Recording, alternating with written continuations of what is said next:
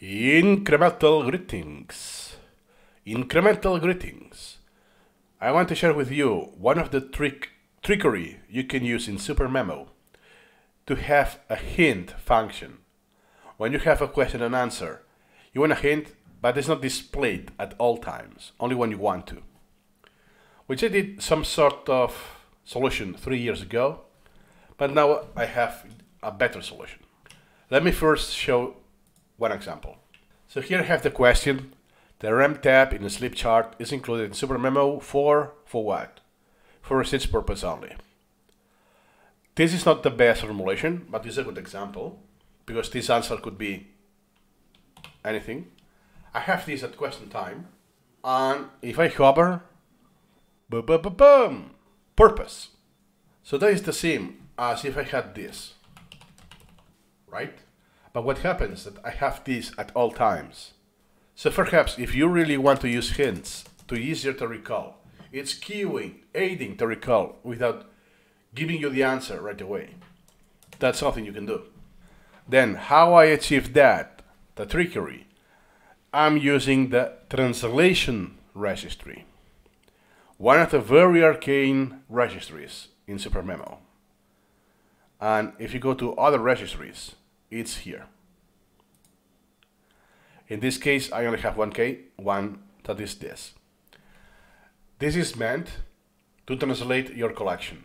And that was done in the 90s, I think, because you have Polish and English. So if the English was not enough for you, the English proficiency, you had the Polish or something like that. So it's about to translate the content. So the question, the string of the question is translated in the language.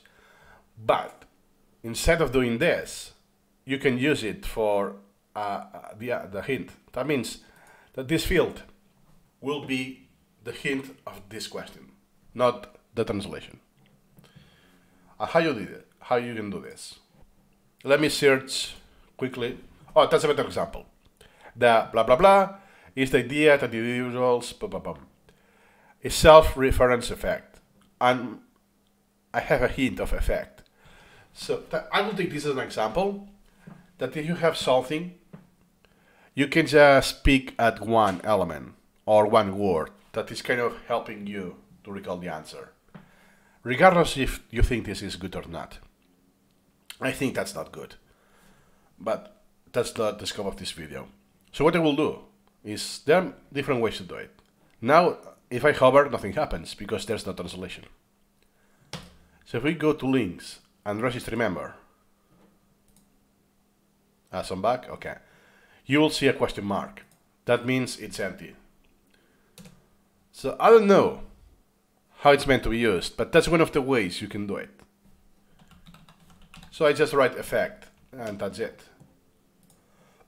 So that will be the simulation of the repetition is the blank is the idea that individuals blah, blah, blah, It's oh shoot instead of now I don't know what's this. I do get what I'm being asked. It's not that I need help in order to understand a cue, in order to understand what I'm being actually asked to recall. No, no, no. I got it, but oh shoot, I cannot recall it. But instead of giving me the answer, give me a fraction of the answer or a, um, a piece of information that, that is related that will help me recall it. And whoop, effect in this case. Oh, now that I see effect, oh yeah, it's the self reference effect. This will weaken your recall, this hint, but that's not the point of this video, it's out of the scope. But that's how you can do this um, hint. Then, there's another way you can do it, and I think it's the one that is meant to be used. Oh man, I'm really struggling to find examples for my collection because I never use hints. So that's a good example. The Hellenistic period covers the period of Mediterranean history between the one event in this year and the emergence of the Roman Empire.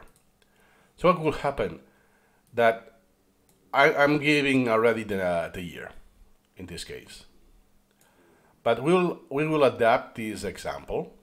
So let's say that I want to recall the, the year. And I give the event as a hint. So I could have. I actually forgot the key binding again. One second. How is supposed to be done? Okay, so I had to actually check how it is done. So keep in mind what it did. Uh, links, just remember, and put it here. That's not how it's meant to be used. I know that, but this it was just to um, illustrate it. How you actually input. Let me copy this first. Is by click, control click, and then you have the hint. And here I can adapt the text between this year and the other event, the emergence of the Roman Empire. Okay. So now I will be asking the year, and the hint will be a related event. That why was that year? Because Alexander the Great died. Cool. So then I also need to adjust the answer. The answer. That's the year. Now let's simulate. The Hellenistic period covers the period of Mediterranean history between what year and the emergence of the Roman Empire, which I could also have the year here. I sorry, I, I hover, I have the hint. Is oh wow, what year? Uh, I don't remember. But before showing me the answer already, 323 before Christ, I still want opportunity. So I will have the hint. Ah, yeah, Alexander the Great when he died. And I know that he died in what year? Pa pa pam. So even if I rate now, I will rate my recall as a failure. Perhaps instead of little, it will be wrong response with some lazy recall. At least I had some active recall. So I'm reinforcing the connection that A, the Hellenistic period uh, starts with the death of Alexander the Great. So I have this semantic connection. So then next time I um, see this, oh yeah, I don't know what year it is, but I know it's the same year as Alexander the Great. And I already know when he died. So it's just reusing it in a different context. It's one of the ways I could um, do this in case I leech this card. And this is on hover. What I could do is go to tool toolkit options and do mouse click. Okay. I actually, what happens that I never tried myself with the setting and I realized it's not working. So in that case, uh, even for convenience, because I usually use the laptop, so I don't have a wheel, I don't have a mouse, I'll be using um, mouse move, mouse over, I would say. So that's an idea how you can use hints. And on top of that, you can know which elements have links already because you're using a registry. So anytime I can go to search other registries and hint translation. And now I have three. So what I see in listed is the hint, not the question effect, purpose, that of Alexander the Great, da, da, da. If you click this button, browse all elements using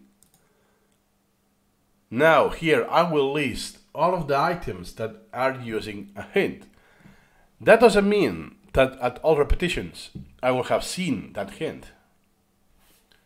But I could check the stats if I want to. I process the browser and check the statistics and see if this is doing hints is actually getting lower performance in the long term. That yes, I succeed next time because of the hint. But later and later, I will have a weaker recall, or whatever you, you may want to um, to check and see what happens. So remember, this year, that is not a hint; it's a cue. A cloze deletion cue, because of the limitations, I haven't reformulated this in a question isn't a statement. So I need this for context. It's not helping me. It's between if I see year or not, I will not. It's not giving me 323, the specific year. I know it's a year. Which one? This is not helping me to decide which year it was, right? But the hint it is helping me. Recall that. So remember, that's a hint, even if it's more Anki style, how you see hints in close relation, is a cue.